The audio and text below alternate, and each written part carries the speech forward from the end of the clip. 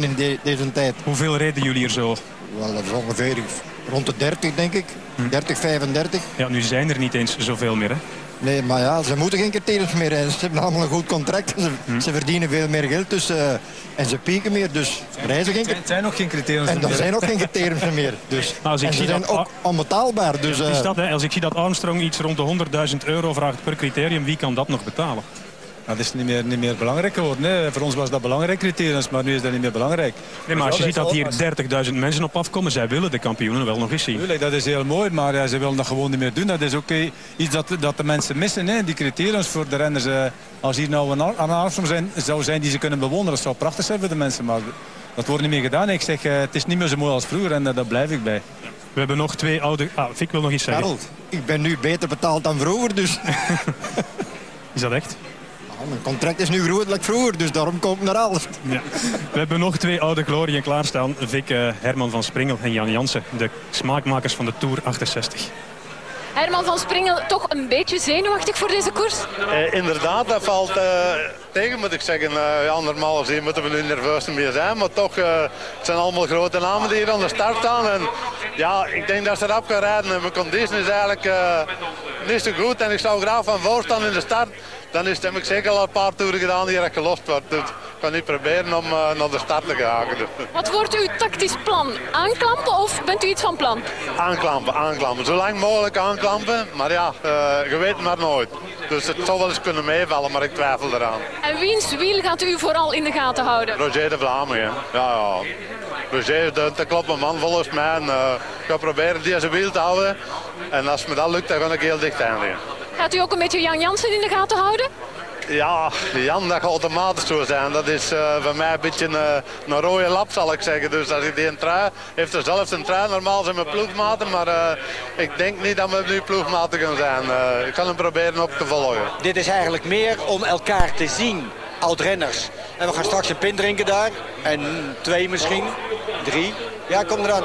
En eh, eh, dat- dat, is, dat is nog eens oude verhaal ophalen van vroeger. En dat koersen, dat is een beetje bijzaak. Maar ik hoorde u daarnet toch in de sporthal zeggen... een vos verliest zijn streken niet. Nee, nee, maar ik, ik ken mijn trucken.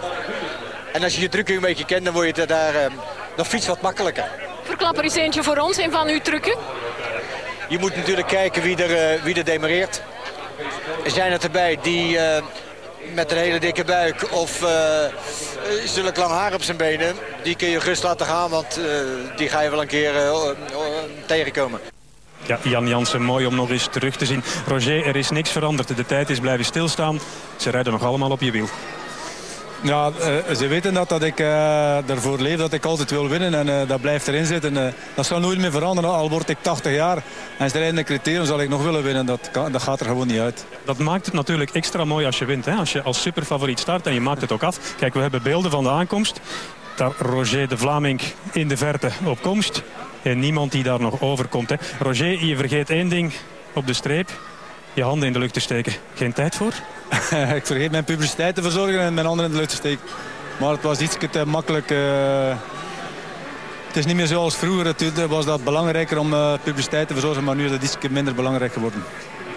De profs die gaan eh, zo meteen hier hun criterium rijden. 96 kilometer, 40 rondjes van 2,4 kilometer. Ze zijn stilaan hier aan het toekomen. Ik heb Tom Bonen al zien staan, handtekeningen aan het uitdelen. Robbie McEwen, daar wachten we nog heel even op. Laat ons misschien nog even spreken over die Tour van dit jaar. Hè. Armstrong zijn zesde, Vic. Jij bent altijd eh, maat geweest van Eddy Merckx.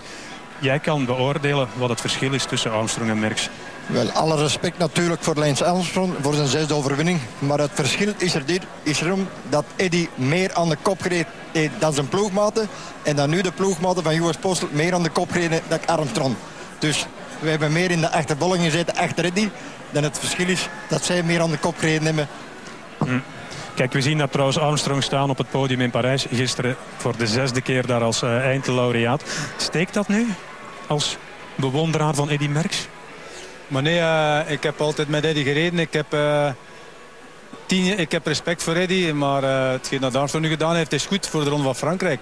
Maar als je Eddy wilt vergelijken, dan staat hij voor mij in de hemel. En Armstrong staat ja, een, paar trapjes over als ons. Is het verschil. Armstrong die doet er alles voor en dat is gewoon de Ronde van Frankrijk. Maar hij heeft vijf keer de Ronde van Italië gewonnen. De Ronde van Italië is voor mij lastiger dan de Ronde van Frankrijk. Maar de Ronde van Frankrijk heeft gewoon een grotere naam.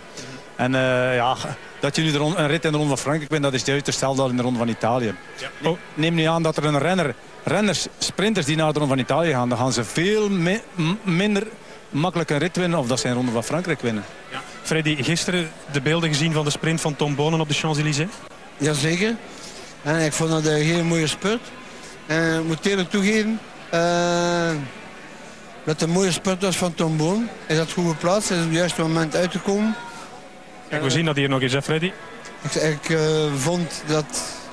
Die... Zanini die valt daar weg en Bonen die trekt zich nu op gang. Een beetje vals plat daar op die Champs-Élysées. Mag spurt en Bonen. Niemand die aan zijn enkels reikt daar. Maar moet zeker die aankomst niet onderschatten. Het is toch altijd lichtgalend op die kasseisteen. Men moet zich weten te plaatsen, vooral in de, in de laatste bocht. Maar ik vind een hele mooie overwinning, vooral omdat zijn eerste overwinning toch, ja... Uh, was een grote valpartij geweest, uh, een eindje voor de meet. En, nu is dat, uh, en ook de naam op de Champs-Élysées blijft formidabel. En voor 23 jaar oud te zijn. Vic, zie jij Tom Bonen de komende jaren klassiekers winnen? Grote klassiekers, de Ronde van Vlaanderen, Parijs-Roubaix, Milan-San Remo? Absoluut, daar ben ik uh, van overtuigd.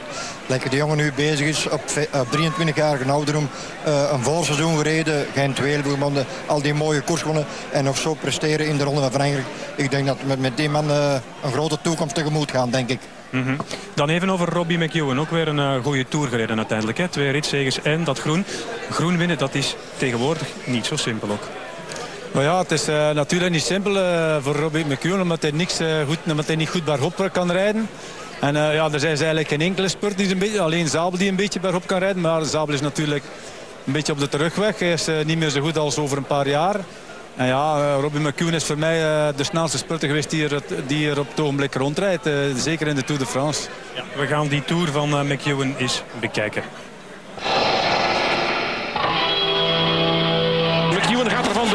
McEwen heeft ruim de stop gekozen. McEwen heeft een paar lengte. En ik denk dat McEwen het hier gaat winnen. En hij gaat dat hier makkelijk winnen. McEwen voor Hussoff.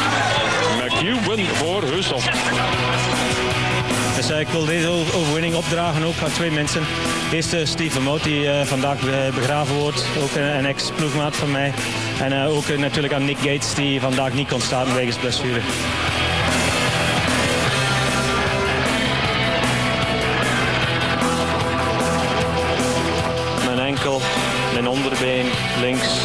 Linkerknie, beide billen, uh, mijn rechterheup, mijn onderrug, mijn rechte elleboog, mijn nek en een klein beetje aan mijn hoofd. En nu komen de sprinters.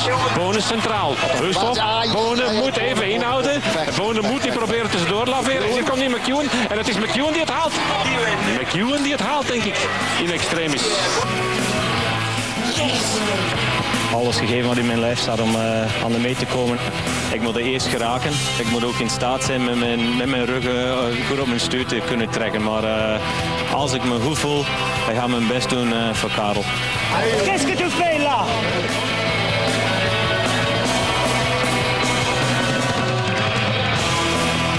Kunnen supporten voor de Duitsers, maar uh, boegeroep en uh, mij uitschelden en uh, McEwen, you're a fucking asshole, dat soort dingen, dat, dat hoort gewoon niet thuis in wielrennen. Dus die man kan beter blijven naar het voetbal gaan.